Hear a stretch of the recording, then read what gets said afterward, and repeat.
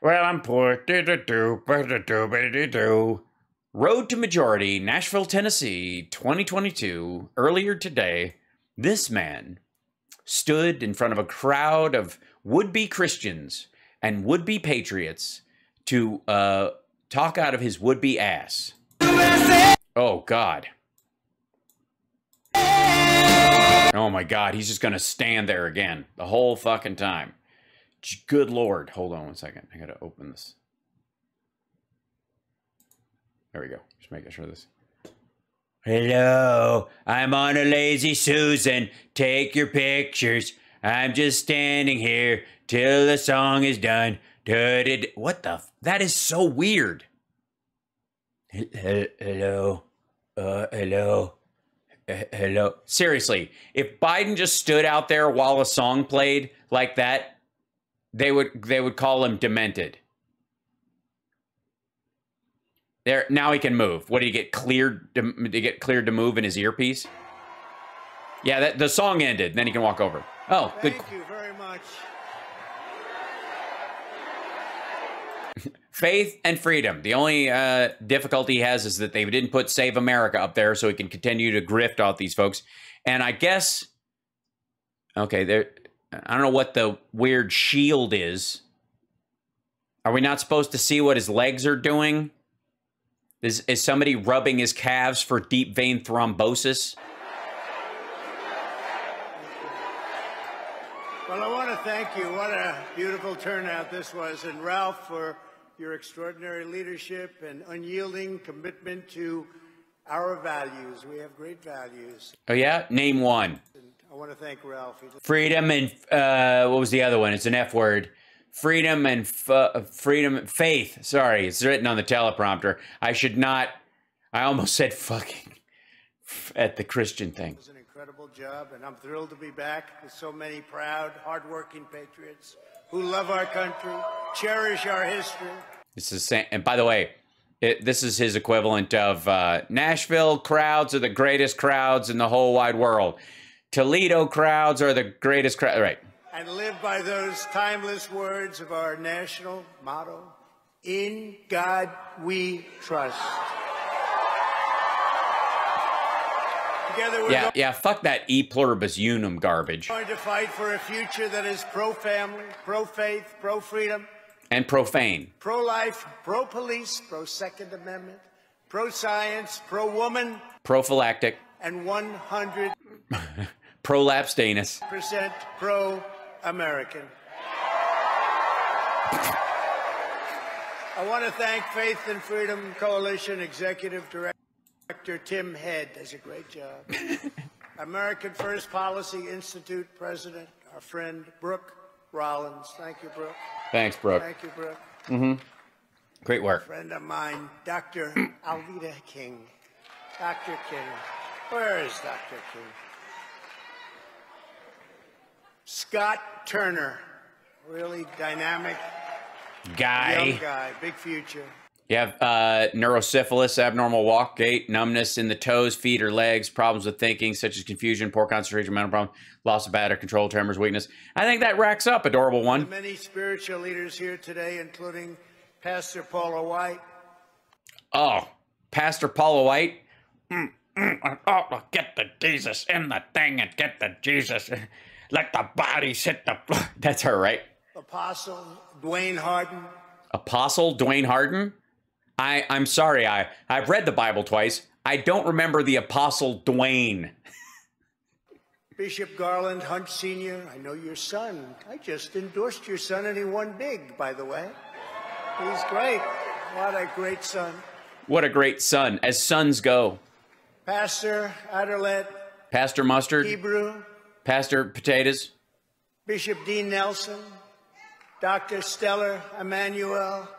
We have incredible people. Kevin Creasman, Pastor Dale Walker, Oh, get over yourself. Pastor Dallas, speaker and pastor and believer.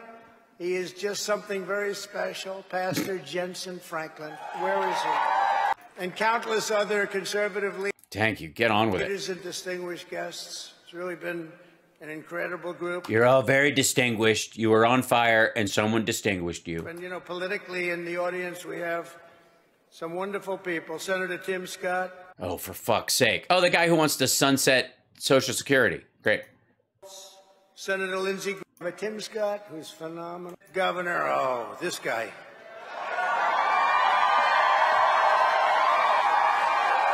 This guy. Lieutenant Governor Mark Robinson of North Carolina. And his wife, Mrs. Robinson. Here's to you. What a job you're doing. He's the hottest guy in politics. Great job. What a beautiful job you did, and thank you for all the help in North Carolina. We had a big, big victory there.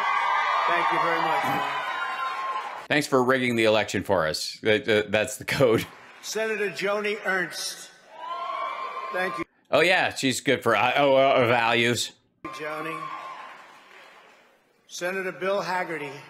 Okay, get over yourself. With all these lights, I don't get to see so many of you, but this guy was Stu, who's been with me right from the beginning. He made a statement once, I'll never forget. I said, Who is this guy who's on television? He said, You know, this guy Trump, he may not know the Bible as well as some of us. Fact, he may not know it that well. But he's a big believer and he's a great leader. And we're going to be very happy with him. And I'll never forget it. I wasn't sure. Yeah, it was. I mean, I'm. I'll never forget it. I'm ballparking on what he said, but Should I be insulted or not? But I. I, I hope so. Robert Jeffress. Thank you, Robert. In addition, let me express my tremendous gratitude to each and every one of you. The Faith and Freedom Coalition is the front line of defense for Christians and people of faith in America today. What a job they do. And I tell you, it really is an incredible thing that you've done. And you look at this audience and the people outside trying to get in. Yeah, it's just like the, whenever the audience is small, he's like, "Yeah, there's a huge line. They're not going to make it. they should just give up." I mean, I, I a lot of them have faith that they're going to get in. No organization worked harder in 2016 and 2018 and 2020, and no group is working harder now to deliver a landslide victory this November. I think we're going to have numbers like perhaps they haven't seen before. You mean because you're not on the ticket? Over the next 145 days, Wouldn't that kind of suck if they did have a red wave and he wasn't part of it? That's kind of hilarious. It's not going to happen, but you will knock on an astounding 8 million doors of Christian and pro life households and, and apparently walk by houses that aren't. 27 states. Are they? Is it about sufficiently Christian? Reaching 15 million voters. In addition, you will make 10 million phone calls, send 25 million text messages, and distribute voter guides to an incredible 100,000 churches. That's a lot of churches. With your help, Yeah, that they shouldn't be passing out. we're going to ensure There's a guy photographing Trump. That's they. Uh, he gets paid to do these to show up at these things, and it goes into the Save America Fund, and he just uses it to pay bills. we're the biggest midtown. This is going to be the biggest turnout in midterm history. We think. Yeah, it certainly is going to beat while you were in office. without question, and it's going to have conservative Christians all over the place. They're they're going to be all over the place. I mean, except the crazy QAnon ones who aren't going to vote because they think there's a chip in the ballot that gets you know injects bandages into their neck. Everyone in this room is gathered here today because we're all committed to the same key beliefs and the same core values. We believe that the Declaration of Independence and the American Constitution represent the principle of human civilization. Our founding documents are not a source of shame, they are a source of great pride. We believe the United States of America is the greatest and most virtuous republic in the history of the world. Like, look at him just like like cockeyed, like cocking his head rather, trying to like. I got to get through this. This is a lot of text. There's a, this is, there's a lot of writing on this thing. This so I got to say all these words to get paid. We're going to keep it that way. We believe in law and order. Yes, you, your lawn must be in order. They are the HOA of the of the majority. And we know that the Constitution means what it says. Yes, it says, "I am a constitution." As written. Yeah, uh, well-regulated militia. That really stands out to me.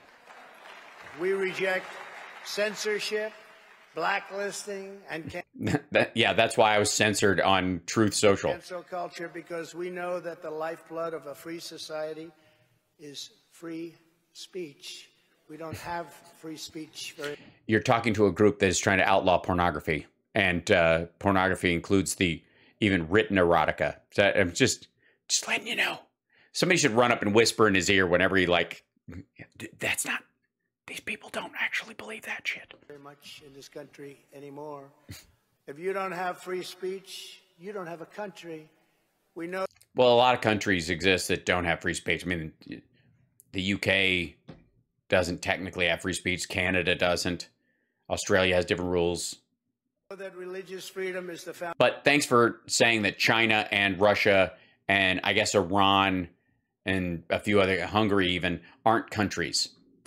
that should be the headline from this. Of all freedom, because we know that our rights and liberties come straight from the hand of our Creator. We believe. That's right. That's right.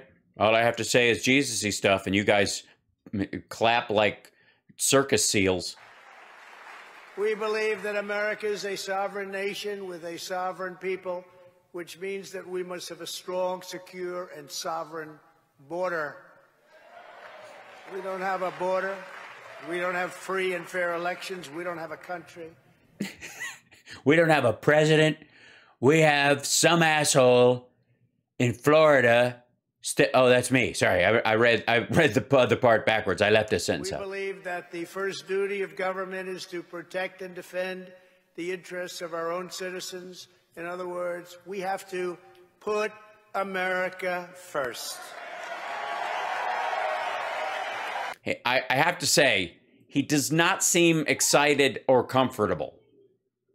This seems like a high pressure speech. Either they're paying him a shit ton of money but he's got to deliver certain points, and that's been negotiated with with Save America or the the Jan 6 committee and and what's happening in New York and Georgia is stressing him the fuck out, which it clearly is. It might be both. We believe that America's destiny depends on upholding the Judeo Christian values and principles of our nation's founding. Like what? And above all else, we know this in America we don't worship government, we worship God. Yeah, points, points. Yes, yes. They government buildings are not called churches. You're really onto something there.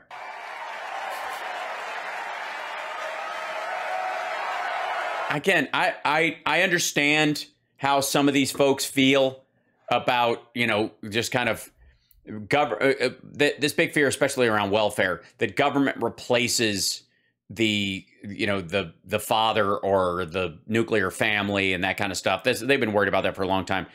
But like, who worships at the altar of government? Why does anybody think that's um, right? He's gripping that podium. Is the hooker from Police Academy under there? Yeah. He's, I mean, he's just selling these tags. I don't understand. Like, they really, they love that one. I've heard many people say that. I'm like, it's a constant refrain, refrain from uh, Republicans. They, we don't worship government. We worship God, which is just like, it's an, it's like a, it's like the Holy Spirit of straw men.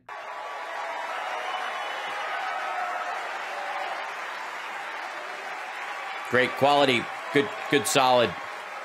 Yeah. Oh, big empty floor there. That's interesting. It's relatively full, but not that big a deal. Certainly not the rally crowd he's used to. I mean, obviously, there's a huge line outside, but they just ran out of chairs. Is that what's up? Because that's, I gotta say, that's pretty fucking sparse for something like this. Trumpelstiltskin's volume is too low. Okay, I'll I'll bring it up a little bit if I can. I think this group likes God a lot. Jesus Christ. These are the values that sustain. I think this group likes God a lot. It sounds like something he said backstage to somebody right before he went on and thought he was saying something astute. you guys, if I'm not mistaken, I think there's some God lovers out there. Let me hear you people. T-shirt cannon, foomp. In our movement, and these are the values that sustain our nation.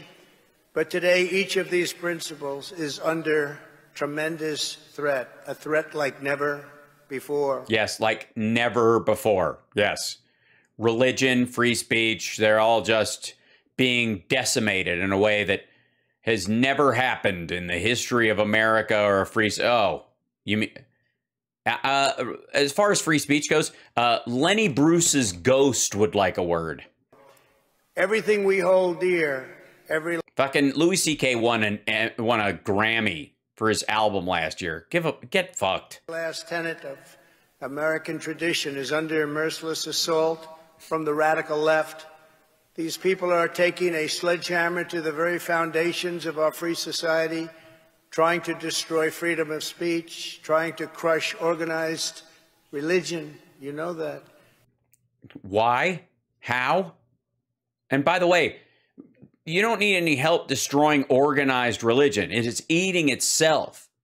The megachurch movement among uh, is the biggest factor in the killing of sort of your middle class churches trying to shred our Constitution, trying to demolish the rule of law, and even attacking the rights of parents to raise their own children the way they want them raised. How? The only thing that anybody has a problem with is the stuff that happens at school. They might have an argument about that. You have the kid the rest of the time. There can be and have been, this might shock people, uh, interesting cases where a teacher said something at school that was counter to reality or counter to uh, the beliefs, uh, faith beliefs even, of, of children in history uh, since public education started. And you know what the parents did? They corrected that in their parenting with the child. So I don't know who the fuck is think is, is raising their kids at school in a way that is so powerful that the parenting that's going on at home can't override it. As I've said before, the greatest danger to America is not our enemies from the outside, as powerful as they may be, and they get more and more powerful because we allowed that to happen.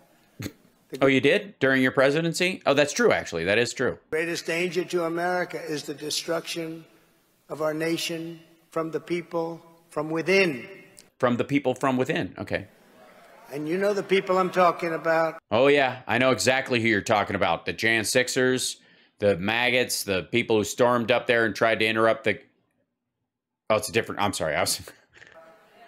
That is why this November we're going to stand up to this left wing fascism and we're going to take back our freedom. We're going to take back our country in November. Well, obviously, oh, are you are you announcing your run for Congress? Wouldn't that be fucking sweet? If he looked at how much like money MTG makes and was like, you know what, I could be a congressman and I wouldn't have to have to do half this shit. I don't. Jim Jordan doesn't even wear a jacket to work It's great being in Congress, you, uh, especially or be a Republican senator. Get the fuck out of here. You don't have to accomplish anything. The radical left movement that is attacking our nation is driven by a spirit of anger and hatred that most of us can barely comprehend or. Yeah, yeah. Unless you were one of the people that you know he ordered up the steps at the Capitol to beat cops within an inch of their life. Understand? Did you ever see such hatred? Oh. Toward yeah, no, I, I've been watching the Jan 6 committee. I, I've seen the videos. It's, it's pretty gnarly. Us. And all we want to do is a good job. We want nice homes. We want great education for our children. That's all we want. We just want to live a quiet life of prosperity. And these guys just want to beat us with a, a, a Black Lives Matter flag. We want strong military. We want strong police. We want not to defund the police, and you see what happens. And you see what happens. Oh, you mean where Biden just gave them like $40 billion?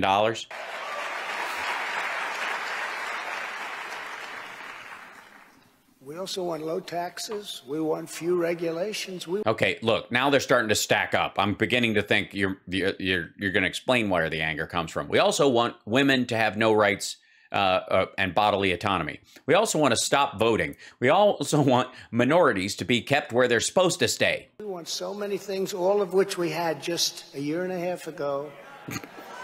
These extremists are consumed by resentment, envy, intolerance, bigotry, malice, Oh, and uh, intolerance, not and tolerance. and even rage against nature itself. Rage against nature itself. That's a, that's a trans thing.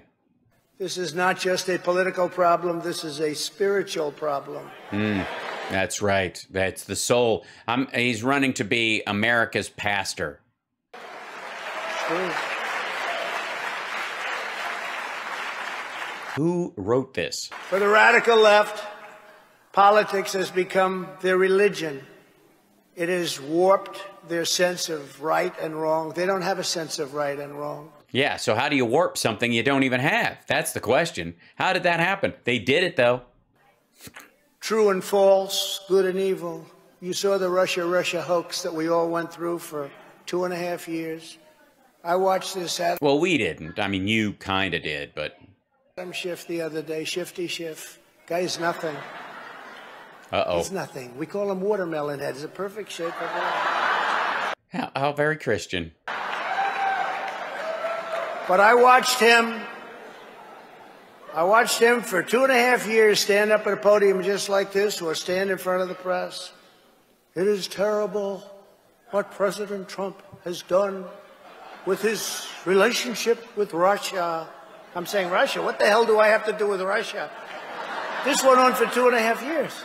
Oh boy, he's just he's abandoning the teleprompter, and and the real gripe, the the real like sweat break is is catching up to him. We're at sixteen twenty four. And it turned out to be a hoax. It's been now revealed. No, it hasn't. Some of the papers have already, some of the media's already admitted it. There'll be a lot of litigation. There's going to be tremendous litigation. Two and a half years, actually causing this danger, aside from everything else, but causing this great danger.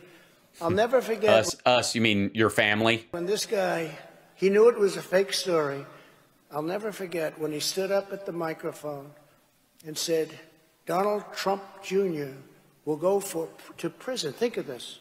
Donald Trump Jr. will go to prison for what he has done to our country and for his relationship with Russia.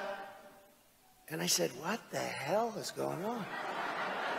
Uh, do you guys remember that? Do you guys remember Schiff standing at a podium going, Donald Trump Jr. will go to prison for what he's done to this country and his relationship to Russia? Good Lord. Okay, we're, we're just seeing brain misfires. It's true. Now think of how bad a person do you have to be? You know it's a fake story. It was made up by him and Hillary Clinton and all these people, crooked Hillary. It was made up by these people. And you want somebody's son to go to prison for a story that you know is false. How bad a human being do you have to be? Think of it. And now they're doing the same thing with January 6th. They know, and it's the same people. It's Adam Schiff. The same words. If you just insert January 6th instead of Russia, Russia, Russia, and the media buys it, but not maybe as much as they used to, because CNN yesterday, did you see what happened? They came out with a strong statement that they are prohibited, totally prohibited, from using the term the big lie. They are not allowed to use it anymore. You know why? Because they know.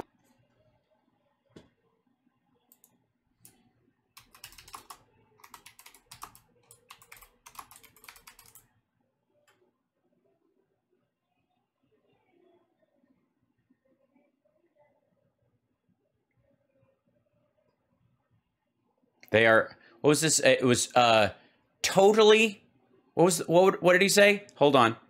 Big lie. Uh, we're totally, Big lie. hold on. Totally prohibited. totally prohibited. Let's see. Now, this is Fox, so it might be bullshit.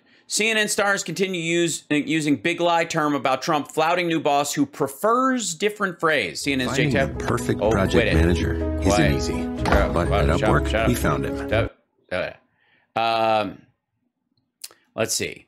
Um, some of CNN's on-air talent seem to be disregarding their new boss. Uh, Chris Licht said about the use of the phrase "the big lie." Licht, who recently took over the network's chief executive following the ousting of scandal-plagued predecessor Jeff Zucker, spoke on a conference call on Tuesday with top producers, where he was asked about his opinion, the use of the phrase in the air. CNN hosts and anchors frequently refer to President Trump's as the big lie. According to Grabien Media Search, the term, okay, whatever. Fox Digital learned Licht is no fan of the term.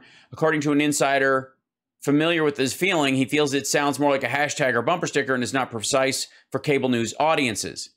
Mediaite and other uh, outlets reported he's also concerned the moniker is used by partisan Democrats and that he preferred Trump's lie or lies about the the election. Jesus Christ! So it's it's not that it's a big lie. They, he wants them to say call it specifically Trump's lie or lies about the election. The key point came across today was that Donald Trump was perfectly aware he was telling the big lie. Jamie Raskin said on CNN this week. An insider told uh, Fox News that Licht did not issue a mandate or formal guidance to stop using the term. Totally prohibited. They're totally prohibited. Absolutely. Totally. From using the term the big lie, they are not allowed to use it They're not allowed to use it anymore. anymore. You know why? Because they know that the big lie is actually the big lie in reverse.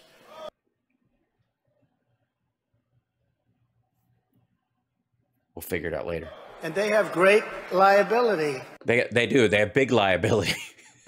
And they don't want to use it, but they came down with an edict. They came down with a statement. It was announced yesterday that we're prohibited, CNN no.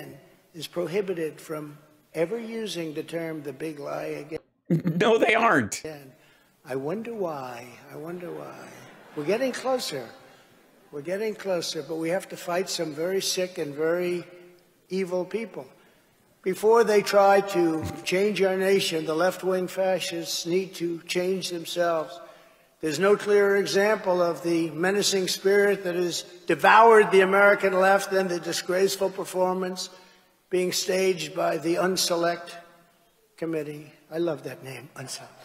You know, they never, they actually act, you know, they hate it, right? But they act like there's nothing wrong because they just don't want it. They're very good at what they do. They they act like my little nicknames don't hurt them, but they do. They're all broken. They all fall apart. You know, it's it's it's like little Marco. Like he he didn't he he acted like it didn't hurt, but I know it did. I know it. They're con people. They're con artists. I say the unselected are supposed to be the select committee on January. You know, like these people are legitimate. Every one of them is a radical left hater. Hates all of you. Hates me even more than you, but I'm just trying to help you out. What the hell did I do?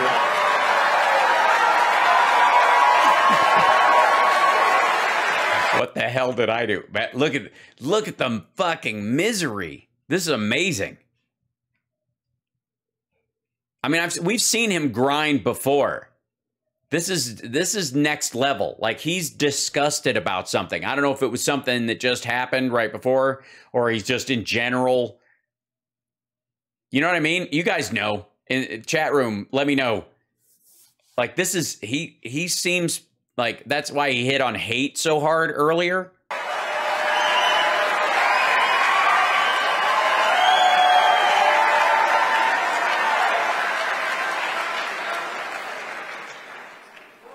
The unselects. So I call them the unselects. And they act like, oh, they never mention it. I think it's one of the great. They never mention it. Yeah, they don't care. It's weird.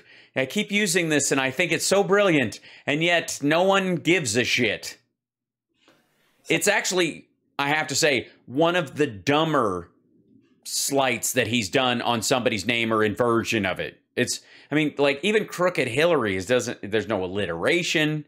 You know, this, like it's just kind of lame. And even like Shifty Schiff kind of works. They, I mean, even Sean Hannity uses that. There's uh, many, you know, most people believe that somebody else gave it that to him. But the but in this particular case, like It's the select committee. I call it the unselect committee. I call it. They call it infrastructure. I call it disinfrastructure. It's that kind of shit. Someday they'll give me credit for that term. Yes, you can have all the credit for that term. Yes, no one is lining up to claim credit for that. Hi. Mm-hmm. You what? Oh, it's hot. Yeah. Why didn't you take my car? Oh, because you have all your stuff. My girlfriend's been working. All right, hold on a second. I have to give her a kiss. Excuse me. My butt. Hmm? My butt. I understand. I'm fine with that. Okay. Pardon us. You can see my butt, but you can't see hers. Okay. You're very sweaty. It's true. This is not a good time to be driving your car around. We need to move. If you and if you need, just let me move your stuff into my car. I'll do it for you. yeah. Like I said, we can drive it over there, and you can just you know We'll just put that stuff in my car and you can leave it in there. I don't care. I have to bring it all in just because of the heat. So. Yes, so it doesn't melt. True. All right. Well, let me know after the show. I'll help. I'm that kind of guy. Mwah. Her uh, the, Summer's air conditioning in her car is currently out, which is not great in a city that's uh, like it's 108 today. I had a lot of good terms. We had a lot of good nicknames, didn't Yeah, let's go back through them. Remin, glory days, and blah, blah, blah, young girls' eyes, glory days. Didn't we have great nicknames? Yeah, didn't we have great nicknames? Remember that? Remember, let's go back over all the great moments of my presidents in presidency where I would just shit on people with petty insults. Remember those? I think this is one of the best. I don't know. It's not catching on because they won't let it catch on. Yeah, it's it's it's the deep state is is running interference on his cute little phrases. It's not catching on because they you know they won't let it catch on. Can you imagine being that paranoid and deluded? The unselects have shredded every standard of decency, fairness, precedent, tradition. Well, in, in all fairness, they are. Uh, you know, in, in what I've seen, I haven't been able to watch every second, but they were all clothed. separation of powers, executive privilege, and due process. Nobody's ever done this before. What are you talking about? This is mechanical as anything we've ever seen. They are knowingly spinning a fake and phony narrative in a chilling attempt to weaponize the justice system against their political opponents. Many of you are. Uh, many of you um, perhaps are wearing an ankle monitor from your attempted attack on the Capitol today. in the room, and you see people on the left that burn down cities, Democrat run Whole cities gone, all of them. Remember that city? Remember uh, Democratopia? It is no more. It's like Atlantis. cities, killed people, nothing happens to them. Yeah, yeah, it does. They go to jail. On the right, if you even were seen anywhere near the Capitol, in many cases, they put you in prison. No, no, they were lots of people. You even brag about the size of the crowd. There's like 600 people in prison. The Unselect's entire sham presentation is based on video that has been deceptively edited. Oh, okay. It's been deceptively edited. You can't see the smiles on the people who are yelling, hang Mike Pence. misleadingly cut, and even doctored. Oh, dear. They doctored the footage? They doctored Jim Jordan, who just left. He just told me they were. They doctored him? Really? Against his will? They were playing doctor with Jim Jordan? He should tell someone. They found something that he said they doctored it up. I think Oh, yeah. it was actually Schiff that did it. Yeah, he's, got he's got a little like doctor bag that he runs around. They doctored up what Jim Jordan said. Jesus Took the entire meaning out of it. Did they? Oh, well, then I don't think he has to worry about anything. If it has no meaning whatsoever, how can you? No one's ever been convicted of something that is, you know, meaningless. Otherwise, you'd be in prison for this speech. I said, "Good. You don't mind if I mention that, Jim, do you?" Let me pretend you actually said this. They're taking six, eight, and nine-hour depositions, and they're putting up five-second clips, making everybody look bad. They'll take nine hours worth of depositions, destroying people, trying to destroy them. And out of the nine hours, they'll put up a five second clip where they got a little tired. Yeah, they got a little tired and the truth squeaked out. They got a little tired. Yes, they keep playing these these shots of Peter Navarro napping on the table. Uh, Pete, we got some more questions. Huh? Mm. They ripped completely out of context these statements in many cases to create an impression that's the exact opposite of the truth so that what you're seeing is a complete and hmm. total lie. It's a complete and total fraud. And then it's what they don't say and the hmm. people they don't interview. We, we send people down. What about this one? Interview this one. These are experts on election integrity. Yeah, that they're not talking about your election bullshit. They're talking about Jan 6. Again, I've said this multiple times. If you suspect your mate is cheating and you kill the person you suspect them to be cheating with, that's not legal whether they turn out to be cheating or not. You're like, but your honor, she really was fucking him. Like, that's not an excuse. You commit a crime, your reasoning doesn't matter, especially when it's extraordinary like this. Jesus Christ. I mean, this is amazing. Yeah, Cyber Ninja is who he's talking about. They don't want to have them anywhere near. And when somebody goes off on the fact that the election was rigged and stolen, all right, that's enough. We're not talking about that. Well, that's the reason people went down to the Capitol. That's the reason that people went down to listen to various speeches, including one I gave. Remember the calm words I used? They try and make them sound like that was the calm. That might have been the calmest speech I think I've ever made. If you want to know, I've had a couple of senators say, "I never knew you could be so nice," Yeah, I think they were being sarcastic. but it didn't make any difference. No, it didn't. I mean, it, like, m- tell them the part about you said where you're going to walk down with them. Tell them that part. And then you didn't. because they have their narrative and they know that we're leading in every single poll, mm-hmm. both Republicans and Democrats, and they don't like that. So they'll do it any way they can. These are very vicious people, just like crazy Liz Cheney removed the part of my quote where I urge people to peacefully and patriotically make their voices heard. Think of that, compare that to Maxine Waters. You ever watch her? You ever watch her ranting and raving and go get him and fight him and you know what? And you know what? Is that what she said? She's saying you got to get in people's faces. She was trying to run them out of restaurants. Again, when that came up, I was against it. A because you just don't do that, but also because this asshole has been and and those like him have been weaponizing that shit forever. It's one of the reasons why you hold your tongue and remain civil. Okay. And many others. Look at Pelosi, her statements. They're horrible statements. Horrible. Mo- mostly while she was dancing. Look at Schumer in front of the United States Supreme Court. He sounded like a mob boss. And they say, look, peacefully and patriotically. But look at Schumer. Go back and look at that tape. Frankly, Bill Barr, if he had courage, he would have done something about it. I suggested it. I suggested it. But he was so afraid of being impeached, he didn't want to do anything. How do you not get impeached? Don't do anything. Don't do anything.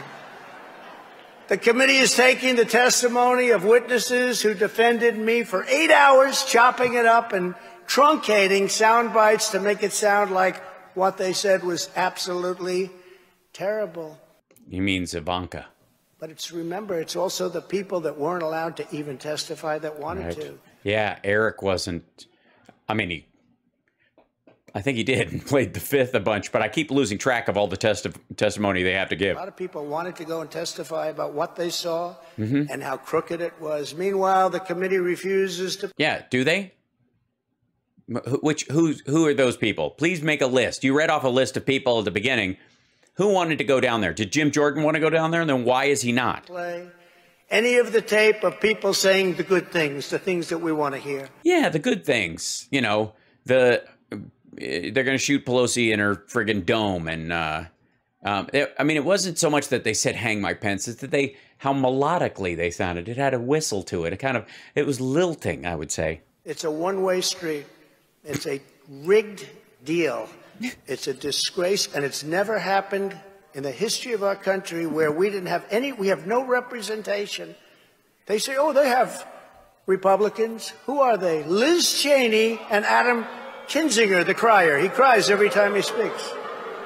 This guy's got a mental disorder. He cries every time this guy gets up to speak.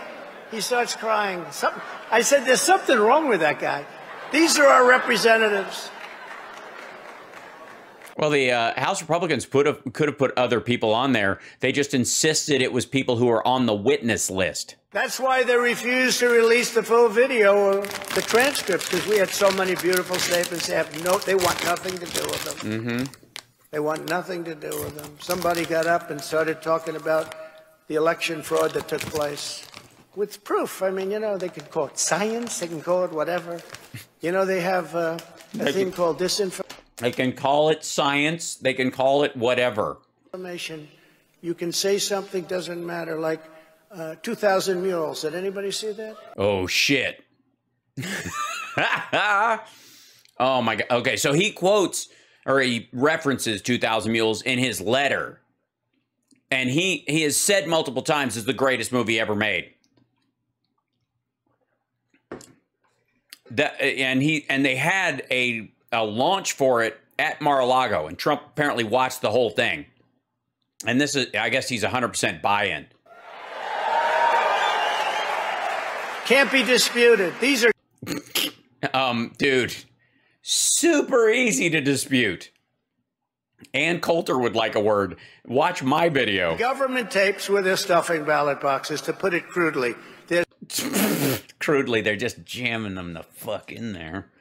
Stuffing ballot boxes on government tapes. And what did they say? They go, oh, that was debunked. They never even said, that was debunked. Yes, it was. Uh, uh, ably, and I would also say hilariously, by yours truly. Oh, okay. Most people say, oh, it was? Oh, I didn't know that. No, these are tapes. One, two. Guys looking up at the camera. Let's see. Where's the camera? Oh, there it is. So the person was aware there was a camera there filming them, and they showed their face on it, and then they what? Came back again? No, no, these are tapes. No, they're these are listen, folks. These are tapes. And uh, the government tapes. They're government. they're, I mean, granted, they're uh, 24 hours a day for a month and a half, and they're cutting a little piece of, of people doing the the right thing all the time. Then they take one thing out of context. So you don't see the parallels between your complaints about the Jan 6 clips at all? No? And we should be thankful for, for True the Vote and Dinesh D'Souza and all the people that did it. Big hit. Big hit. It's a big hit. Yes, a, a big hit to your argument, I would just say. But these are not. These are not uh, something that's made up in the studio. These were tapes that were taken, and uh, Catherine Engelbrecht, who's a Oh, great motherfucker. If this guy thinks. If Trump thinks Backpack Guy is a real dude, I, he, I, he, he has to. He has to think that Backpack Guy, the footage that they made up, the, the recreation footage that, that Dinesh D'Souza put in there, that they didn't label as, as such, which the guy gets a credit in the end. Like the the dude in the hoodie trump absolutely thinks that's real footage. I guarantee it. Woman and a great patriot, spent thousands of hours with her group of patriots studying all of these government tapes that nobody in a really cool looking room ever studies because who's going to spend thousands of hours? But they did. And they took out hundreds and hundreds and hundreds of people, thousands of people that were rigging the election. And they'd go, hmm. one man went to 28 different boxes, no he didn't putting six or seven. what's his name what's his name where's the footage of him returning to one even once where's the footage of him going to more than one ever seven in each box. You can't put a thousand in. It doesn't work that way.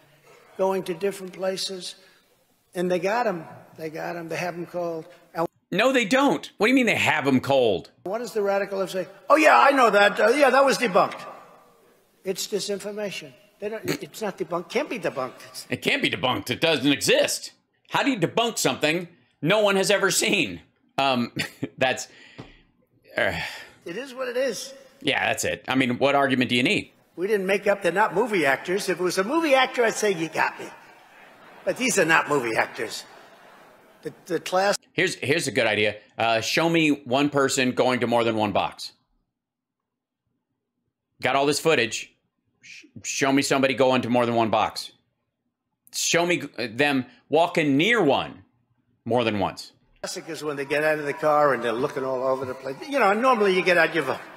Yeah, two o'clock in the morning in Atlanta. You look around. These guys get out and vote.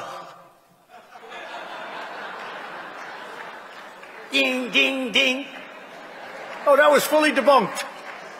Nah, this is a shame what happened. This is a shame. And because of that, look what happened to our country. Oh my God! Such a country we were having. What happened to our country? The sham committee even had to postpone its scheduled hearing at the last minute so they could doctor some additional video and probably hire another movie producer like the guy from ABC who was the president of ABC. No, he isn't. And ABC fake news, you know that. And he was the president. And I guess he used to do tapes and documentaries, and they put him in charge of making a documentary. The good news is very few people watched it. Yeah, uh, officially, I think people watched the the the alleged numbers on 2,000 Mules are oddly in units of two, uh, 20 million apparently, which is horseshit. But that's the number of people who watched the first night of the Jan 6 committee. And not only are they watching the morning ones, but they're also watching the recaps at night on MSNBC. One guy got up and said that he heard me calling Mike Pence a wimp. Now, now in honesty, Uh, in all honesty, uh, he is a wimp. I'm the president of the United States. You know, I'm sitting, I, I think they said at my desk, he's a wimp. How many people listen to me? It's like, I don't even know who these people are.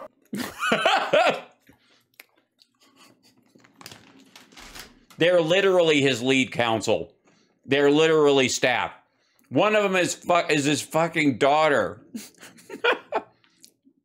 Ivanka, who she's I, she's probably a Democrat who got me coffee. But I never called Mike Pence a wimp. I never called him a wimp. Mike Pence had a chance to be great. He had a chance to be, frankly, historic. Yes, he could have gone down as one of the greatest turncoats in American democracy. But just like Bill Barr and the rest of these weak people, Mike, and I say it sadly because I like him, but Mike did not have the courage to act. Bill Barr was afraid of certain things, and you know what they were? Please I mean, being disbarred. Please don't impeach me. Don't impeach me, Bill Barr. Please. I said, what's wrong with being impeached? I got impeached twice, and my poll numbers went up. I don't want to be impeached, sir. I don't want to be impeached. The election was perfect, sir. It was perfect. It was so good. The election was perfect. And the Democrats are sitting back saying, no way we're going to impeach this guy. Nah, it's terrible. But Mike was afraid of whatever he was afraid of. Yeah, I, I, that's probably true. Spiders, heights.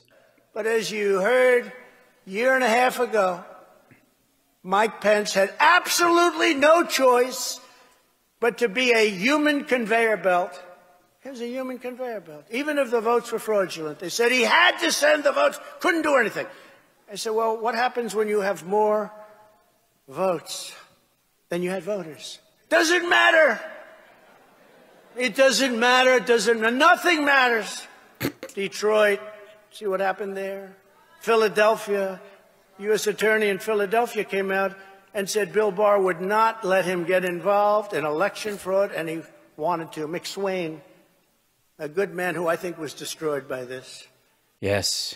So many people in your past have been destroyed by your bullshit. Um, also, um, Barr brings this up specifically in the Jan 6 uh, video that they had posted, but it's been said over and over. And anybody who looks at what Rudy was selling, we we looked at all this shit. What uh, Mike Lindell was talking about, um, they used the primary voter numbers versus and who you know people who voted in the primary versus people who voted in the general, and said that the the number of people who voted in the primary was the baseline of the amount of voters in the area in Detroit and other places.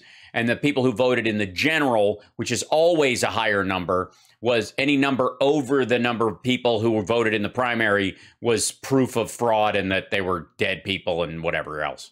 He was not allowed to look at election fraud because the Republicans were afraid. Hmm. They were afraid of Terrible. the consequences. Oh, the Republicans. But came out and everybody said that send the electoral votes immediately to the old broken down crow named Mitch McConnell. Oh. You had to send them. He's the old broken down crow, bad guy, bad politician. He wanted my endorsement. He was getting his ass kicked. The people of Kentucky like Donald Trump, and I like them. And I was leading by a lot, and he came to see me. He was Kentucky has a Democratic governor. losing by two to somebody named Amy McGrath, a good politician. She had $93 million ready to go. He's down by two, and he's going to go down all the way. And he comes over to see me, and he practically begs me for an endorsement. And would I do a television commercial for him? I didn't like him that much. But I helped him out, and they got him elected by more votes than he ever got before. and I totally got him elected. Everybody got more votes than they ever got before. Mail in voting works. He would have lost. In retrospect, I wish I ran somebody in the primary against him, but I still would rather have him probably than a Democrat, barely. Barely. So what happened is they were emphatic, emphatic about Mike Pence. In other words, ready? He had no choice, no matter what. He had to send those votes. He had no, there was absolutely nothing that he could do. I Right. said, well, what is he, a robot?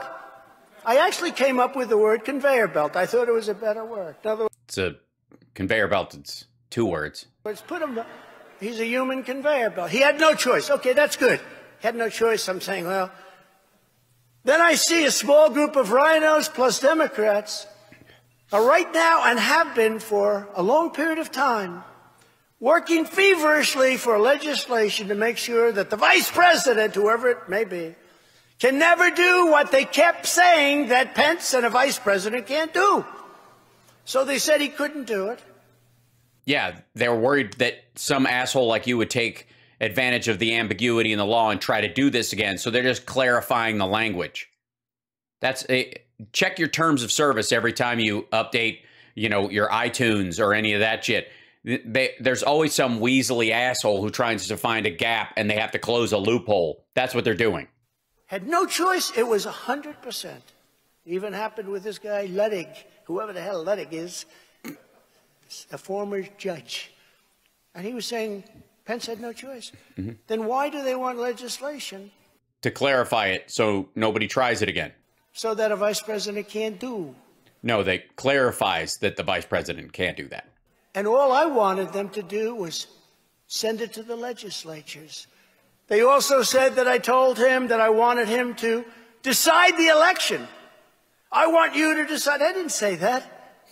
They made up the story. It's not true. You know, he could. uh, This is what he want. Like, I want equal time. That's what he thinks this is. This is his equal time. He- Here's a good idea, asshole. Do this under oath. Otherwise, it's not equal time.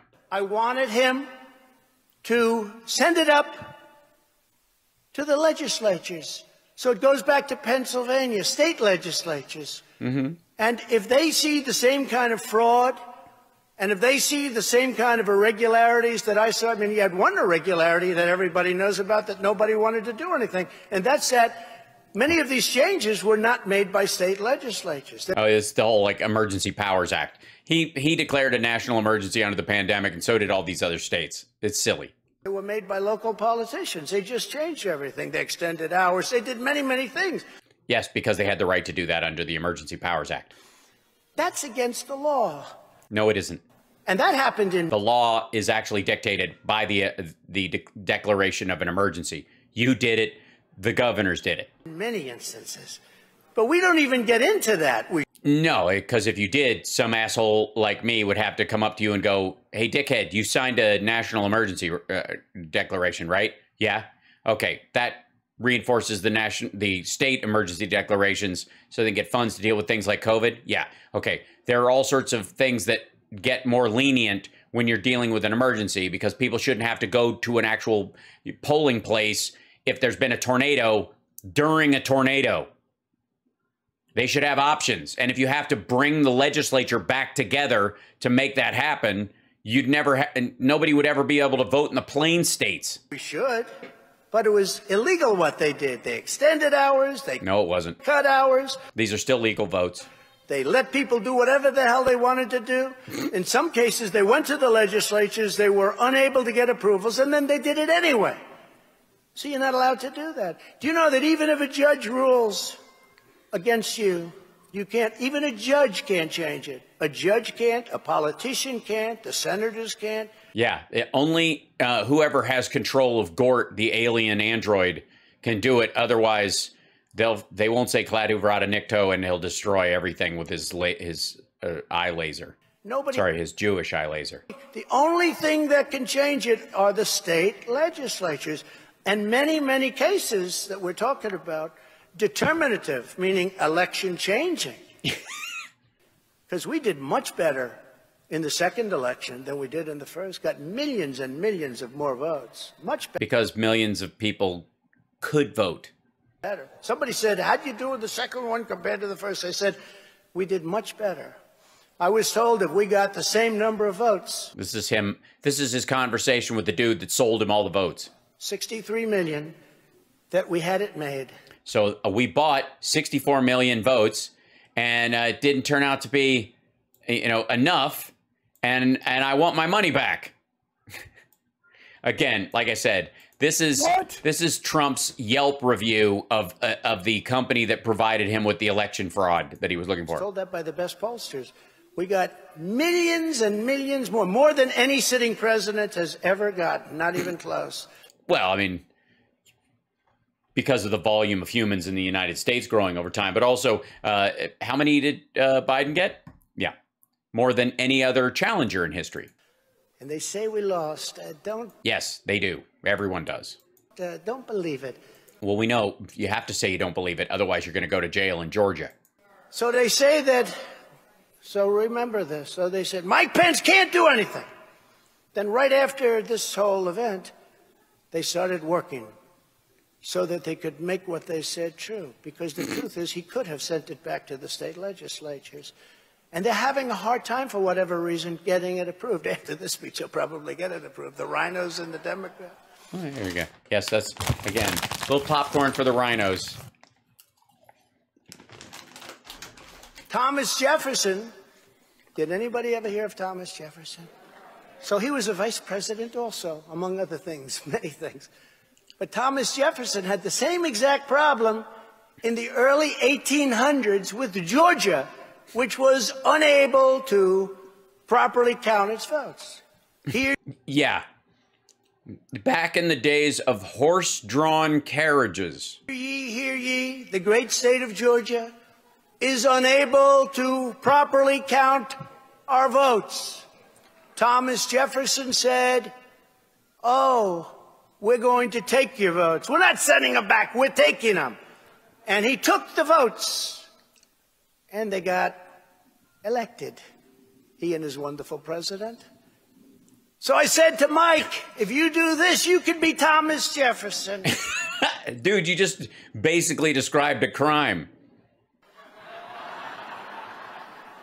And You then after you too could have uh, offspring with one of your slaves. it all went down, I looked at him one day and I said, Mike, You're a pussy. hate to say this, but you know Thomas Jefferson.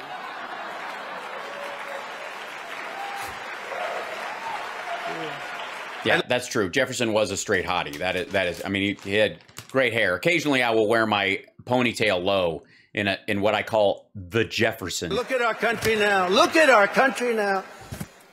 And I'm not sure, maybe the state legislatures wouldn't have acted, but I think they would have because they were looking at a lot of things. And right now we uh-huh. have the nastiest inflation that we've ever seen. We have a war in Ukraine with perhaps millions and millions of people dying in the end. I think it's going to be a lot more people than people. When you look at these cities that are being ruthlessly and horribly bombed to hell, Mm-hmm. you're talking about tens of thousands By your buddy Vladimir Putin. Tens of people dying. They'll say, yes, two people died, one was hurt. and yet you'll have buildings pouring down all over and bombs being dropped. No, no, thousands and thousands of people are dying. By the way, what kind of an asshole thinks the Ukrainians are lowering the numbers of dead killed when the Russians strike an apartment block or a hospital? They're evacuating people when the bombing starts. They get a lot of people out. Not everybody leaves. They don't know exactly how many have died, but they, they tell who are confirmed to have died who are in the building.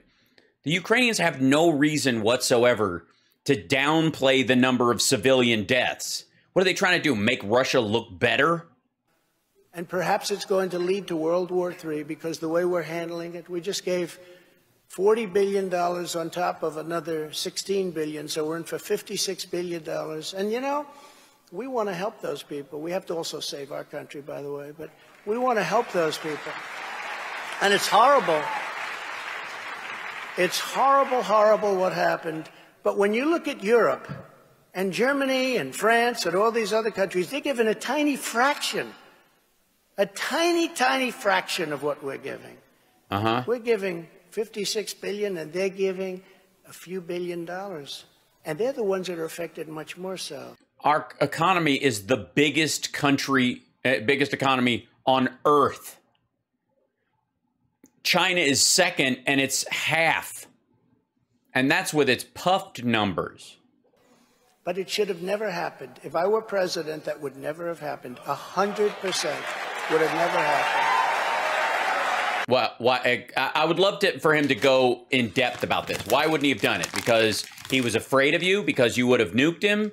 Because he you would have just given it to him? That's my theory. Right?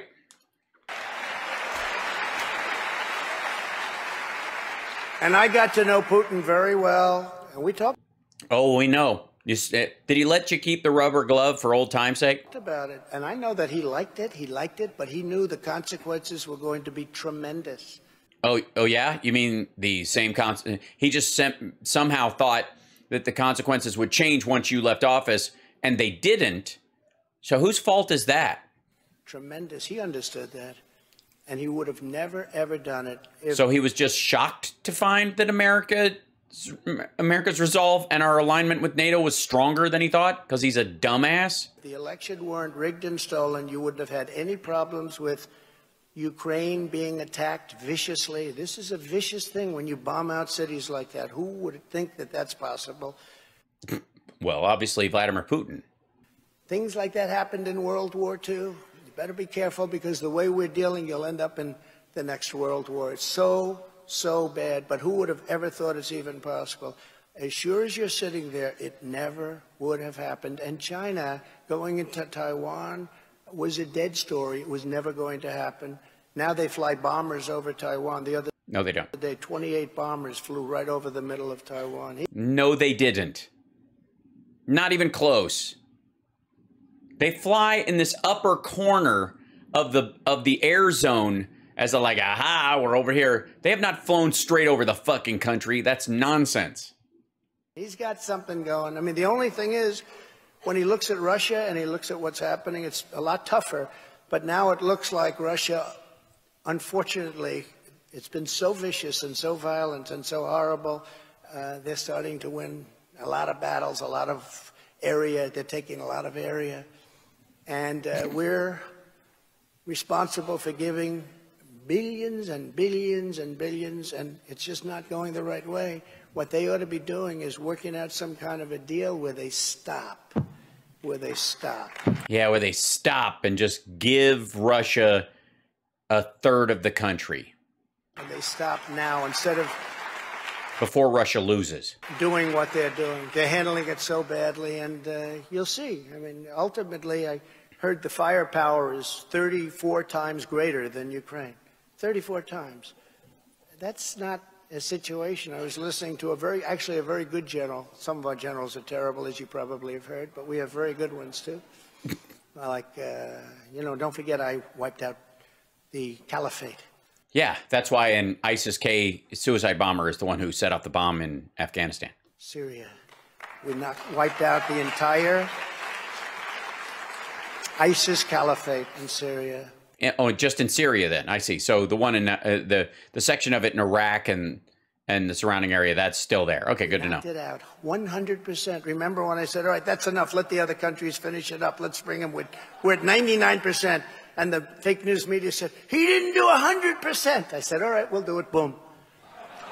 It was seventy percent, and the the uh, generals talked him into staying. General Raisin Caine. You remember General Raisin Oh Caine? God, the Great Raisin general. Caine story. I heard it was going to take three years. I said, General Caine, how long is it going to take? I can do it in two weeks, sir. And he did. No, he didn't. We got some great generals. We just don't see them on television. That's the problem. Mm-hmm. But we are now disrespected all over the world. No, we're not.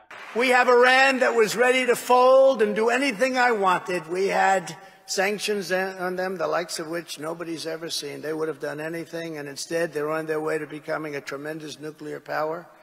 and we better act very quickly because there's no negotiating with them. Oh, okay. So there's no negotiating with it. What? What? Uh, then what? We're just going to bomb them. We're we're going to nuke Iran now. That's what we're. So basically, you're running on McCain's ticket. Bomb, bomb, bomb, bomb, bomb Iran. That's right. That's are religious zealots. okay. Yeah. So there's no. There's, this is basically Trump is making the Putin argument against Ukraine, but towards the Iranians.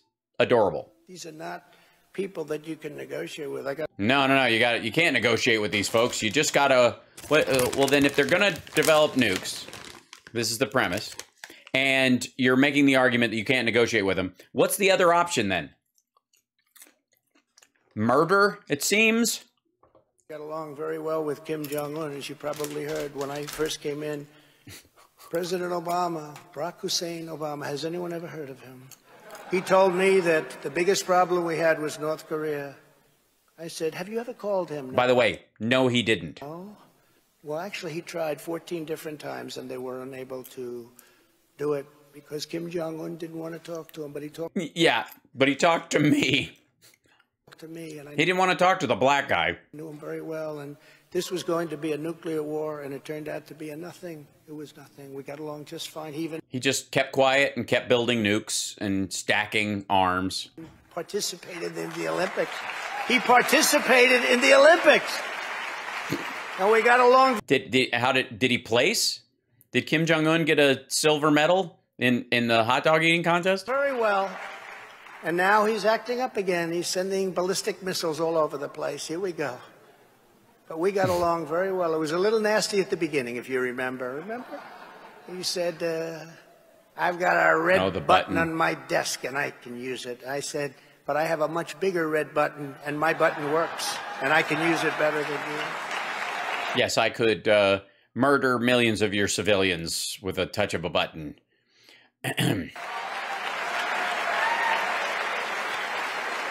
yeah, he won the low jump. So we need the right people. We're just not respected anywhere in the world anymore. Yeah, Kim Jong Un is just not respecting us the way we, we don't have the respect of him and Xi Jinping and Vladimir Putin anymore. Those guys just don't seem to like us. Or they go to the summits and the other leaders are saying, what the hell is going on? You got to understand, I know them all. Macron, I know every one of them. None of them call you anymore. You haven't spoken to any of them since you left office, and none of them want to. I mean, the video of them laughing at you was pretty great. Angela, Angela really took advantage of our country. Now she's been replaced by a guy that is smart also. She was very smart. And uh, we, we paid a big price. They were ripping us off. Just like China, everybody ripped us off. We made so many trade deals, so many deals, so many military deals, saving billions and billions. I put tariffs on China. Hundreds of billions of dollars was paid to us. Oh, hundreds. It- remember, it was fifty billion. Now, yeah. Over a short period of time, I gave $28 billion of it to China because Oh, you did to China. Bec- 28 billion of the China money to the farmers Okay, yeah. Thanks for clarifying. because the farmers were To the Chinese farmers. being hurt so badly Yeah, the Chinese farmers. in trade by what China was doing. They were taking advantage of our country. And I said to our secretary, Okay, let's let's just recap. We we're like a third of the way through this horse shit, and this is uh, a a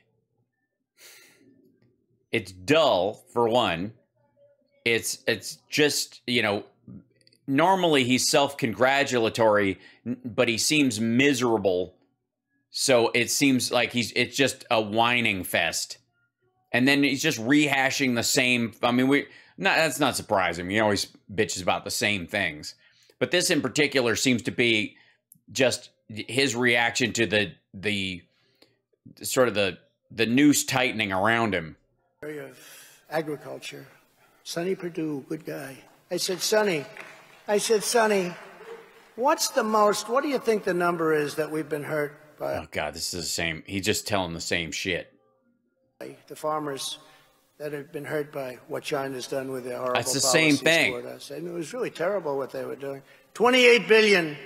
I said, that's okay. And I gave the farmers 28 billion out of the massive hundreds of billions of dollars that we got from the tariffs and taxes that I put on China. Oh, and I will tell you, in our history, there's been no president that ever took in even 10 cents from China.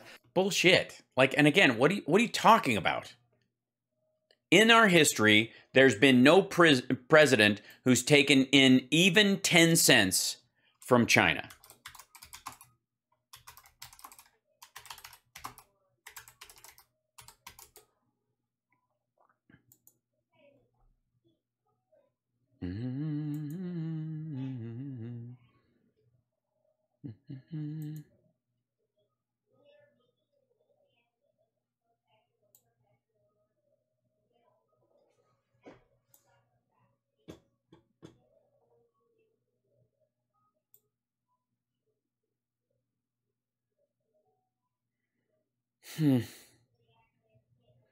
Uh, let's see if I can grab a, a number. Hold on one second for you, if I may.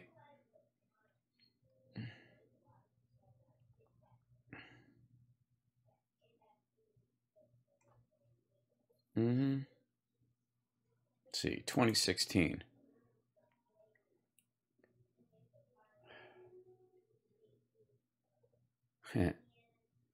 Obama put on a, and this is, by the way, um, Wall Street Journal was pissed about this. Obama front runs Trump on China. The new 522% steel tariff will hurt U.S. companies. Worse may be coming. The Obama administration may not sound like Donald Trump when talking about trade with China, but it isn't above using protectionism for political gain. On Tuesday, the U.S. Commerce Department increased a tariff, increased, by the way, it was already there, a tariff on dumped Chinese cold rolled steel to 522%, a move that will hurt American manufacturers who need the steel to remain competitive. This is their argument for, you know, buying cheap steel from China. Um, the tariff might score some populist points with voters in an election year, and it may also be a ploy to get lawmakers to ratify the Trans Pacific Partnership trade agreement before Obama leaves office. That's the that's the plan. Not ten cents. This that's May of 2016. Um, let's see. Let's see. What tariffs? Uh, let's see. Uh, me go to here now. There you go. Uh, Obama tire tariffs. Uh, in 2009, Obama imposed a 35% tariff on tires uh, imported from China in an effort to boost the domestic tire industry, which is being overrun by less expensive Chinese tires. The uh, United Steelworkers Union, which represents tire plant workers, had complained to the U.S. International Trade Commission about a surge in Chinese tire imports that had caused over 4,000 American tire workers to lose their jobs. From 2004 to 2008, USW said Chinese tire imports had increased by 215%. So much so that by 2008, 46 million tires in the U.S. were coming from China compared to 15 million in 2004. Domestic tire production dropped by 25%.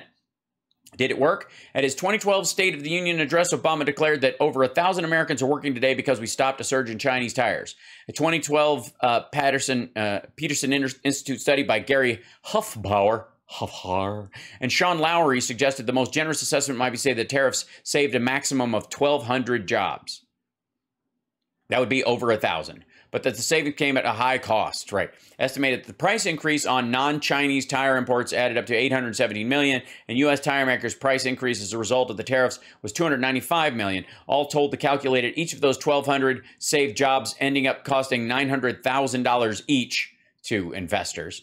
The tariff did reduce the number of tires Americans bought from China, but it meant that the U.S. bought more tires from other countries that weren't China, like Canada, South Korea, Japan, Mexico, and Taiwan. Yeah, but they weren't dumping them. And again, not 10 cents for the record, not 10 cents. I took in hundreds of billions of dollars, saved our steel industry, saved other industries. By just keeping the tariffs that Obama had put in place. And now, and now, if you read the papers, Yeah, who reads the papers anymore? Biden wants to end the tariffs on Oh, does he? China. You do that, that's the end of your steel industry. Biden wants to end the tariffs on China. Hmm. Oops, hold on. China tariffs. What do you what do you think the chances are? Mm-hmm. See, easing tariffs. There you go. Um, this is what he's talking about. Hold on. And this is a scoop. This is three days ago. Scoop. Scoop. Biden leans towards easing some of Trump's China tariffs. Not the ones, of course, that uh, Ivanka dodged. Uh, let's see. Oh, Obama, uh, sorry, President Biden in the Oval Office meeting last week with key members of his cabinet indicating he's leaning towards removing some products from the Trump administration's China tariff list. People familiar with the matter tell Axios. With inflation at a 40 year high of 8.6%, Biden and his top officials are desperate to show action on bringing down prices, even if it makes them appear weak on China. Inflation is okay, blah, blah, blah. But Biden's plans to exempt some products covered by Trump's Section 301 tariffs risk aggravating the labor movement. Um, which one? Driving the news. Biden is scheduled to address the AFL-CIO's constitutional convention in Philadelphia today with remarks aimed at celebrating the partnership, but in private conversations with administration officials, labor representatives have warned that the White House against relaxing any of the tariffs. What we're hearing, Biden is leaning towards ordering the office of the U.S. Trade Representative to run a formal exclusion process to determine if some consumer items, such as bicycles, should be exempted from the Section 301 tariffs. He's le- less likely to include big industrial items like steel and aluminum in the process. Biden gave some indication of, th- of that thinking last Tuesday in a meeting with his key cabinet officials, according to people familiar with the discussions. A potential announcement is expected as early as this month. No decision has been made. The president is discussing with his team on ensuring that tariffs are aligned with our economic and strategic priorities, such as safeguarding the interests of workers and critical industries. Yeah, again, steel and aluminum are not covered. Um, not he's not lifting those. Uh, let's see. Put Biden on political notice last week. They expect him to keep in all of Trump's tariffs in place, writing that our government must act in national interest to strengthen our economy for the future. Most for most of his presidency, Biden has been reluctant to let any daylight enter between him and the labor movement, which forms the backbone of his political coalition. The extent of union anger, da da da, between the lines, the overall impact of removing all of Trump's tariffs on imports from China, according to one study, might lower the consumer price index by only 0.26 of a percentage point. That's fueled a fierce internal debate pitting economic officials against one uh, against other key members of the administration, like U.S. Trade Representative Katherine Tai, who want to maintain leverage on China. Yeah, she's she's serious about this stuff. She wants more tariffs.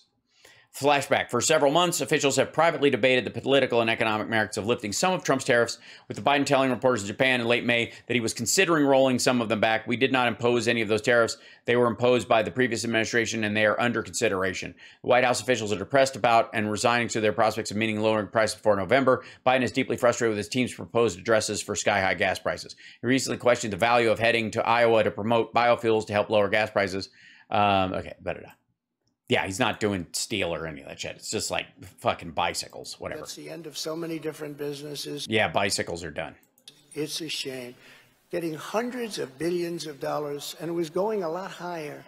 Yeah, it was going to be hundreds of hundreds of billions. Then we had a, an event that took place on November 3rd that was very unfortunate. Let's be clear this is not a congressional investigation, this horrible situation This is how far afield he's gotten in his rambling. He went back to his teleprompter. wasting everyone's time. This is a theatrical production of partisan political fiction that's getting these terrible, terrible ratings, and they're going crazy. They're going crazy. The unselects tried to use these tactics, and if they did, in a real court of law, everyone involved would be sanctioned and would be disbarred. If they were lawyers, they'd be disbarred for what they're doing.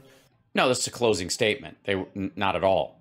There's a one. That's that's where it, why it's the argument part.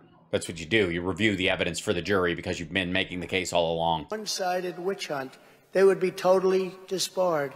We have nobody to even speak. Yes, you're voiceless. It's so sad. We can't even speak. In fact, what I do Sure, you can. Show up and uh, I, I guarantee if Trump said, I will appear under oath and speak for as long as you want, Hillary did it with Benghazi. I can do 12 hours, 15. I can go all night, whatever you need. Um, I just need a couple of trips to the John to empty the, the diaper and blaze a rail, and we'll get back at it. do is I put it on Truth Social. And anybody in Truth Social, the hottest, The hottest nothing on the internet. The it's hottest the what? hottest thing. I'm not a fan of Twitter. I think Twitter is bots and fake accounts. I don't like Twitter. Truth Social is uh, the hottest thing, and we put it on Truth Social, and uh, Uh-huh. you see what's going on. But it's no coincidence that all of the same people who staged the Russia, Russia, Russia hoax are now pushing this insurrection hoax, and they're pushing it. The same people, grotesque and ludicrous narratives that just happened on, and as to what happened on January 6th, it was a simple protest. It got out of hand, and I Yeah, that's all it was. We'll say one thing they don't talk about. They never show the size of the crowd. I believe it was the largest number of people I've ever spoken to. I'm He's still pissed. They're not. They they won't give him credit for the crowd size. I'm not talking about the very small percentage of people that went down to the Yeah, those guys get the ones that beat cops near to death and took a shit in the rotunda and stole a laptop and tried to sell it to Russia and were chanting "Hang Mike Pence" and busting out windows and mm, you know busting in doors and threatening people's lives and saying they were going to murder Nancy Pelosi. They get all the attention. What about all the run of the mill maggots that showed up in DC and then just went the fuck home because the speech was horrible? Capital, many of whom did nothing wrong. Yeah, that's why they left. And they're paying a big price because of this horrible situation that's taking place. I'm talking about the crowd that I spoke before, and some people went down long before I spoke. But the crowd that I spoke before was, I believe, the largest, crowd, and I've spoken in front of big crowds. This is a big crowd. I've spoken in front of very, No, no, it isn't. very big crowd. They already showed the ground. We we we know there's huge gaps in the back. The turnout's probably going to be bigger for other people speaking at the event. That was the largest crowd of people that I've ever spoken before. Well, enjoy it because it's just been dwindling ever since. And I will It literally pe- you peaked on January 6th. Congratulations. tell you, and they totally did this too last week. I said that was a crowd where there was unbelievable love and patriotism in the air. Uh-huh. People were holding hands, they were listening, they were crying. They were there over a rigged election. And they took what I said and they said that his, he was saying, I was referring to the people that walked into the Capitol. You, you literally said we love you, you're very special to those very people. And no, I wasn't. I was referring to the speech. The speech was the largest I've never seen. I think that was the largest number of people that I've ever spoken before. Okay, so it was um, bigger than your inauguration and still smaller than Obama's. Gotcha. You, you never hear that. They never show pictures of it. We have a few pictures, but I believe it was the largest number, and nobody likes to talk about it. People Who cares? This is like the unselect committee complaint. Nobody gives a fuck. Look, look at what happened on that day. I mean, he is David Brent. This is, I mean, he's President David Brent from the, the British office. Um, some of you are going to be made redundant. Um, we are going to join. Uh, Neil's going to take over our branch, and some of you um, are going to lose your jobs. There is some good no- news, though. I'm being promoted. Were there for a right reason, because we have a country. And if you don't have fair and free elections, you don't have a country. And they love our country. You need borders, you need elections. And they were there, and no. And you need folding chairs, and you need uh, Diet Dr. Pepper and a giant tumbler, and you need a maggot hat, and then you need to listen to the same drivel again and then pack up and go the fuck home while friends of yours try to destroy democracy. Nobody ever mentions that. They never show it. I have never seen it on television where they have a helicopter shot of Washington with numbers of. I won't say it You're saying the airspace wasn't open? because if I say it, I'll get wiped out. You know, it's very interesting. On July 4th, I gave a speech. By the way, the audience has checked out. speech He's got to say something like, You guys love God again, or he's never going to get another round of applause till the end. years ago at the mall. And it was the same mall that uh, Alveda's great, the great Martin Luther King Jr. gave. And the, the structure is identical. You have the Washington Monument, you have the wall, you have the Lincoln Monument, but the structure, the pools, everything. Yeah, the pools. And Dr. King gave his speech, and it was great. The I Had a Dream speech, it was great. How You think? Oh, that's nice of you. How very charitable. good was that? But they showed the picture, and it was massive. Tremendous numbers of people. They said it was a million people, one million people. If this mother, he's going to go, I I think mine was bigger. And then I gave my speech, and they showed the same thing. It's hard to believe, many, many decades later, but it's identical architecture, identical pools. You look at it, the Lincoln, my, everything was identical, but it was many years later. I gave my speech. So his, they said, one million people. Now, my pictures were exactly the same. Jesus Christ. Th- can you imagine being this petty? But the people were slightly closer together. They were That's what it was. It was that there was more love in his crowd than in the MLK speech. There was there were, people had elbow room. were more compact, but exactly the same. So he had more people packed into the same amount of space. That's exactly what he's saying. Holy shit. I mean how do you how the fuck how are you that petty? But there were more people. They were tighter together, if you look at it. Oh my god, he had more people than MLK. That's the Jesus Christ. Donald Trump has 25,000 people today. So Dr. Martin Luther King had a million, and that's fine. Donald Trump, with more people, had 25,000. Jesus Christ. Ugh, this is so gross. He is now claiming that his speech had more people than MLK's. And the reason is is because he believes the same amount of ground was covered, but his people were packed in tighter than the people seeing MLK. Fucking hell. This is this is so gross. Uh, yeah, this is brutal. Can you imagine being like buying a ticket to this shit? By the way, you're watching Hal Sparks Mega Worldwide. We take this, uh, you know, these these speeches and we go through them long form so that I'm never never accused of taking things out of context, which is what a he did about footage around. He was saying that they were doing around Jan six, but at the same time, two thousand mules can do it, and that they're just being honest. And I have it up in my office. And it says 1,025,000. But that's what we have to put up with. And Alveda understands that. She understands that. Jesus Christ. Yeah, it's it's Dr. King's granddaughter or whatever who's there. And his speech was great. I allowed to say my speech was better? I don't think so. I better not play with that one.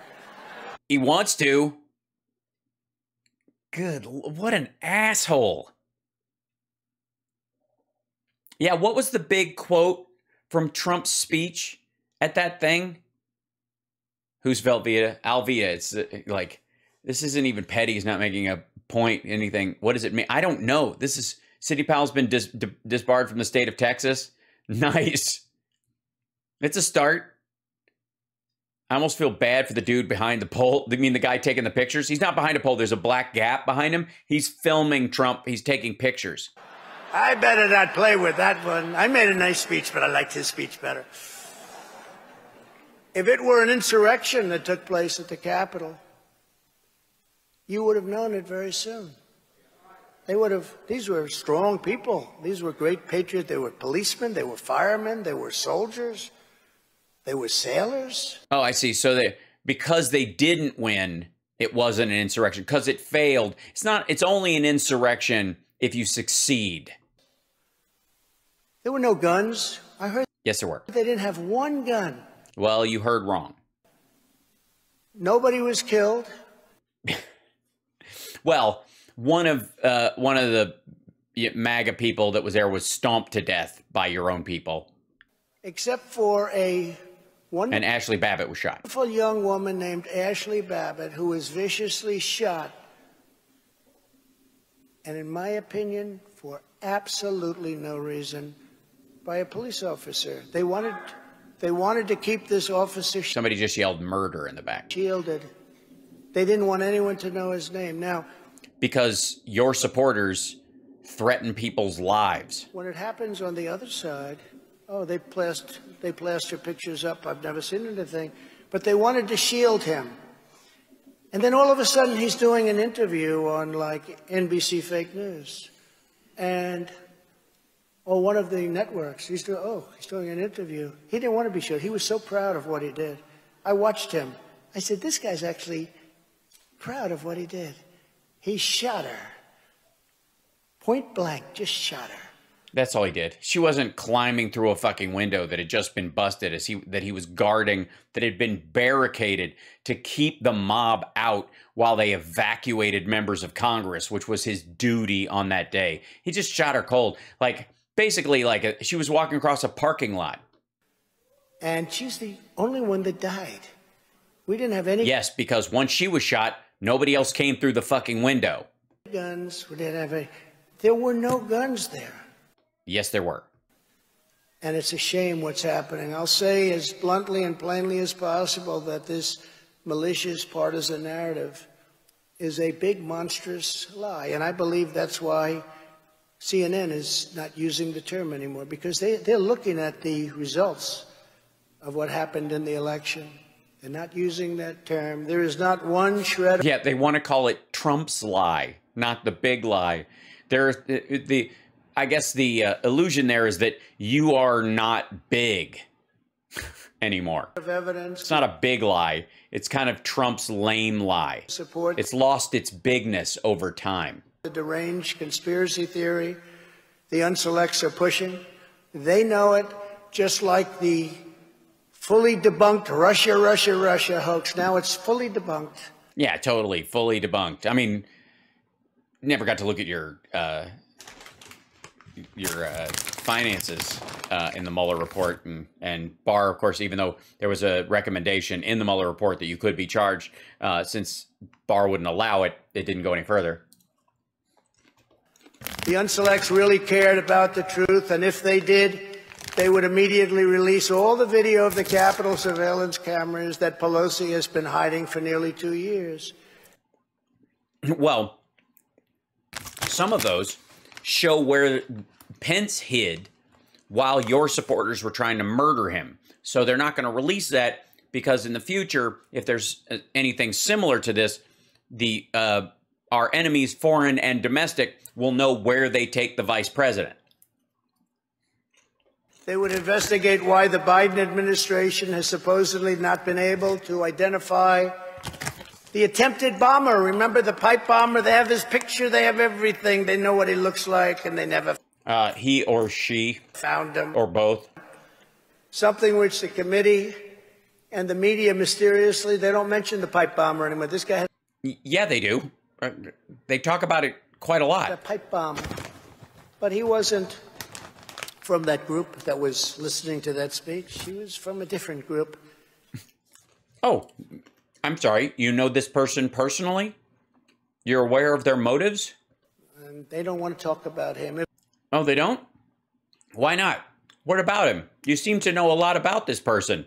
Fill us in. the committee cared about the truth, they would reveal everything the U.S. government knows about the individuals who have not been arrested despite being caught on video urging the crowd to press forward, including people like Ray Epps. Oh, shit.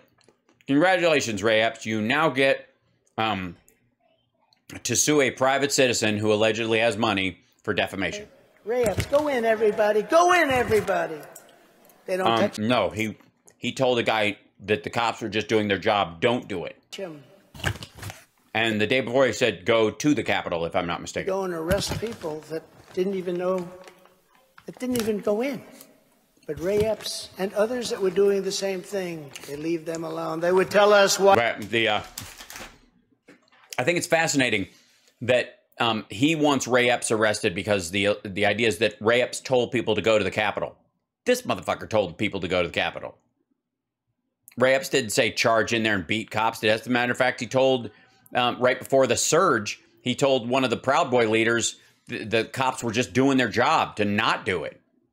If Trump had been down there, he might have seen that in person. By Nancy Pelosi rejected 10,000 National Guard troops that I recommended be there because I heard it was going to be a big crowd.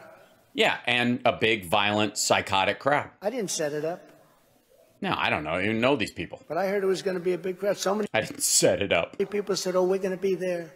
We're going to be there. And I said to the Secretary of Defense and others in the room, it's been verified now. They said 10 to 20,000. I thought I said 10, but they said, no, you said from 10 to 20,000. If you had 200 National Guardsmen or military, January 6th would not have been January 6th as we know it. Right. Uh, and now we know anytime Trump has a rally anywhere near D.C., it should be surrounded by soldiers. What? But as you know, Nancy Pelosi is in charge of security of the Capitol along No, she isn't. with the mayor of Washington, D.C. And they turned it down. They didn't want it. I believe the mayor turned it down in writing. There's a letter out there somewhere. She Yeah, somewhere. turned it down in writing. Yeah, she turned it down in writing. She wrote it back. She got her letter, and then she. Now, how can we be guilty if we wanted to have as much as 10,000 and maybe 20,000, but as much as 10,000 troops in the Capitol? Because you considered them friendlies and they were going to help you carry out the insurrection. And because they weren't there, it's one of the reasons why it failed. Because the National Guard troops you were wanting to bring in, you thought the you could in, you could invoke the Insurrection Act and order the National Guard to separate people inside the Capitol and stop the proceedings, if not attack them openly. You mean we're causing an insurrection? But by the way, let's get 10,000 troops. That like us from Texas. No, it doesn't work that way. No, it is a fake. This is a fake story. No different than Russia, Russia, Russia, Ukraine, Ukraine, Ukraine. I can't, I can't imagine being in this fucking audience listening to this blather. How about I got impeached for a perfect phone call Oh, motherfucker. to Ukraine? Congratulations on your victory. Let's impeach him. It's a disgrace. This has never happened, ever happened. Nothing. Yeah. Yes, no one has ever threatened the leader of another country on the congratulations call that they were going to be denied military aid unless they did something to help them, the president, sitting president, win against his political opponent by creating a false investigation in a foreign country. That's true. Nothing like this has ever happened. I get a lot of credit. People say, How the hell do you take it? I say, Do I have a choice? Do I have a choice? And most importantly, they would expose the blatant rigging and stealing of the 2020 election because they know what happened. They know what happened. The Democrats know what happened. Listen to the applause in that place. That was the that's the first applause break. Is that the blatant stealing of the election? That's that's that's where this crowd is. Better than the Republicans. It's not the full crowd. Uh, guys like Mitch McConnell who are weak and political hacks, instead of fighting, they just want to get on to the next. He's actually happy with Biden, they say, because he can do his little thing. He can be the leader or the semi-leader, because he's not a leader. when Republicans retake control of The semi leader. Congress, they should turn the table on the Democrats, show trial, and immediately launch a full investigation into the egregious abuse of power that has taken place in the name of January 6th. It's in the name of. Look at the misery. There it is. All right, we're gonna. I'm gonna wrap this up for tonight so that I can get on with my fucking life. But um, I think I will pick this up um, the next time we gather. Um, uh, radio shows tomorrow morning, and then of course the uh, like I might be able to, you know, bust in in the afternoon and kind of finish off some of this, or do it late in, in the evening tomorrow night or something like that. Um, if not Monday, uh, we'll finish it out. But it's like, I mean, it's going to be hard for me not to just like watch the rest of it and go, okay, here's the one big thing. Yeah, I'm going to need a bigger bag of fucking popcorn if we're going to keep doing this, anyways. Jesus Christ, this is boring. This went on for another fucking 45 minutes. Jesus, just ugh, get over yourself. And this, by the way, this is the, you know, the, like King MAGA, uh, like King Ultra MAGA 2024. These people, the people lining up to like watch him. I don't know if there's a, there's not a chat on here, but the RSBN chat, I'm sure was full of like, like slam dunk, totally true, blah, blah, blah. But even those folks are are getting bored and leaving. This is just tiresome. And you know, like DeSantis and and Cotton and some of these guys are laughing their asses off watching this. Knowing full well they'll be able to like like like well Trump's not going to run anyways, but any like any hope of that is fading fast and they're like, look at this doofus. And again, I would argue uh, maybe there'll be another rally. Oh God, there may be another rally tomorrow. Jesus, like we have to stack these things up. Hey, I'm committed to go, you know getting through them when when they happen. But Jesus, we can skip a few because uh, it's just ugh, it's so boring, and it does nothing. There is no there there. Stop this! It's torture. I vacuumed so I didn't have to listen to Trump. Oh my God, it's boring gibberish. I know. It just like, and this is the dude who's supposedly, you know, the standard bearer of the of the Republican Party. Total, you know, he's got a stranglehold on the electorate. He calls the winners, even when he doesn't. This is this is the you know the once and future king of the Republican Party. This is torturous. And again, everything that they say about Biden, and they're like, he's, he's cognitively losing it and can't think straight. But we see this every time. Oh, God, I need a nap. Um, thank you guys for tuning in. This is Hal Sparks Mega Worldwide. Um, normally, it's a it's a lot more fun, but I I I mean, you can't polish a turd. This this speech is horrifyingly bad. This is bad. This is so stunningly lame. I almost feel like I wish Don Jr. would just go out there and read the same thing. So at least we'd have Coke Energy version of this. And it's like it's like he's on a hard fade. Yeah, I alone can fix it. Yeah, this is rough.